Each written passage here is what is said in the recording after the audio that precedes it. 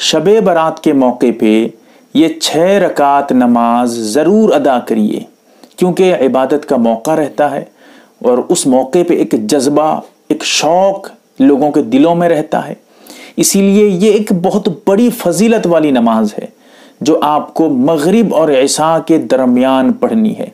मगरिब की नमाज़ पढ़कर फारिग हो जाइए और ऐसा की नमाज़ का टाइम शुरू होने से पहले पहले इस नमाज़ को अदा कर लीजिए तो बहुत बड़ी फजीलत आपको मिलेगी। हदीस में आता है, जैसा कि तिरमी शरीफ में जिल्द नंबर एक, सफ़र नंबर 98 पर रिवायत मौजूद है, जो आदमी मगरिब और ऐसा के दरमियान छह रकात नफिल नमाज़ पढ़ लेता है, जिसे अवाबीन की नमाज़ कहते हैं।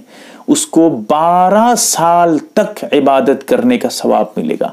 यानी 12 साल तक अगर कोई इबादत करेगा, जितनी नेकियाँ, जितना सवाब वो बटोर पाएगा, ले पाएगा, वो चंद रकातों में छह रकात अगर पढ़ लेता है तो उसको उतना ही सवाब मिल जाएगा।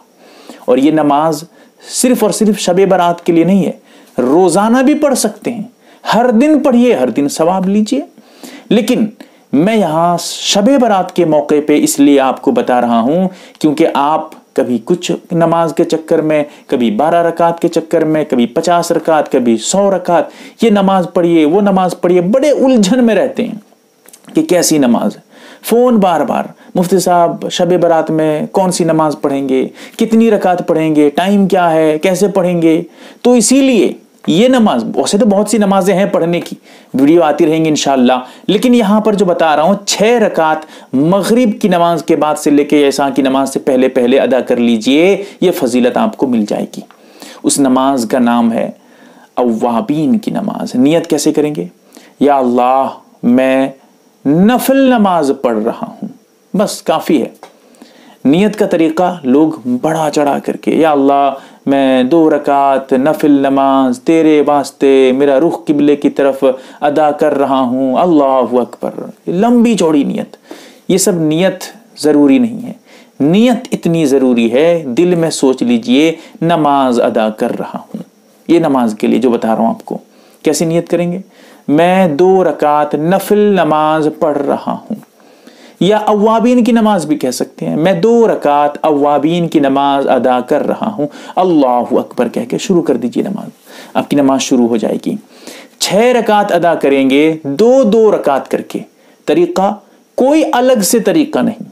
कोई अलग से इसके लिए कोई जो है आपके लिए मखसूस चीज़ें हैं कुछ नहीं है। आसान सी तरी, बातें हैं, आसान सा तरीका।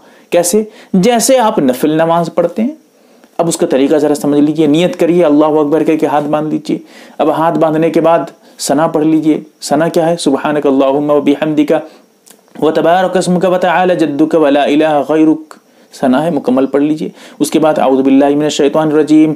फिर बिस्मिल्लाहमान रहीम भी पढ़िए उसके बाद। फिर उसके बाद सूर्य फातिहा पढ़ लीजिए। उसके बाद आहिस्ता से आमीन कह दीजिए। फिर उसके बाद यानी ये सारी करातें आहिस्ता आहिस्ता ही करिए, बेहतर है आपके लिए। फिर उसके बाद जैसे आमीन कह के ख़त्म करेंगे बिस्मिल्लाहमान रहीम पढ़िए। उसके बाद सूर्य कोई भी सूरा जो भी आपको याद है, आपके आसानी के लिए। फ़क्रमा तयसरा मिनल कुरान। कुरान कहता है, जो भी आपको आसान लगे, वही सूरा पढ़ लीजिए।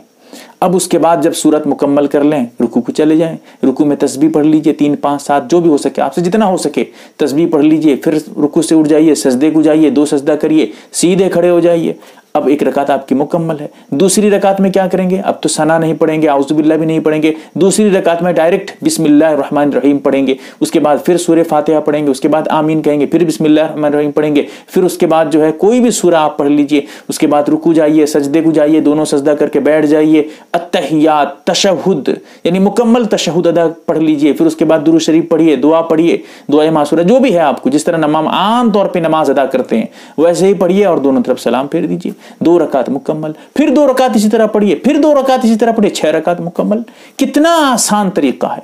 लेकिन आज हम कितने उलझे रहते हैं। अपने आप को सोच कर देखें, कितने उलझे रहते हैं कि यार शब बारात में कौन सी नमाज़ पढ़ेंगे, कैसे पढ़ेंगे, क्या तरीका होगा वगैरह वगैरह। इसीलिए आप इस नमाज़ को ज़रूर अदा करिए। ये बहुत बड़ी फजीलत का बायस है। अल्लाह ताला हमें अमल की तौफीक दे। आमीन या रब्बल आलमीन।